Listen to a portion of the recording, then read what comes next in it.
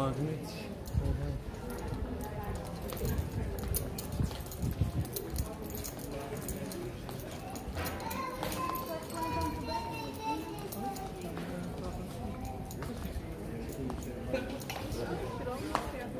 Hai la un, la racon